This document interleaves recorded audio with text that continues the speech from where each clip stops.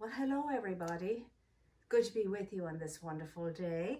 Just tuning in, as I always like to, to find out how you're doing. And I really mean that because I want everybody to be as good as they possibly can be during these times. And I know there will be some days that won't be as hotsy-totsy as others, but nevertheless, don't, don't let your energy be depleted at those times. Just go with it. Just feel, mm, okay, I'm kind of feeling blah, but that's all right. I'm going to let myself feel blah. I'm going to take control of it and I'll make the decision. Do I want to feel blah, stay feeling blah, or do I want to release it and let it go? Have I had enough? You have the power. You have the control. It's in your hands to decide, do I want to stay feeling like this or not? And then act upon it.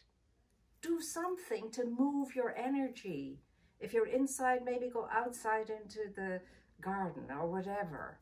Go for a little walk or some such. Make a cup of tea. Call a friend. Put a smile on somebody else's face. That's how you'll handle it. So my dear ones, know we're here for you. Reach out to us if you need to. We would love to be able to help however we can help you. And thank you for all your endeavors. And I know we're all endeavoring in some way or another. So keep your chins up, keep your hearts up, keep the smiles on the faces, and just keep knowing you're here to make a difference. And then decide every day, regardless of how you're feeling, to make a difference in someone's life. Reach out and make a difference in someone's life. And then you will always reach the end of the day and feel good about it. So please keep up the good work. And thank you, you wonderful food angels, for bringing in the food and keeping the pantry stocked It's very, very important because the needs are really, instead of diminishing, they're, they're growing. So thank you for every good thing, but especially for your own great good self.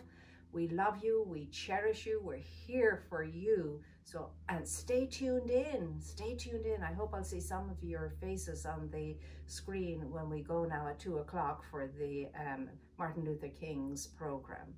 So until then, And so it is.